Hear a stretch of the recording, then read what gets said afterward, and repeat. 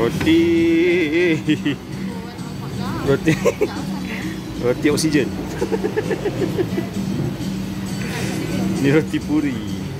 Apa panggil? Lempeng kembung ah? eh ni kuih tiaw udang. Eh ni mi kari. Biasa. Oh. kita try ni.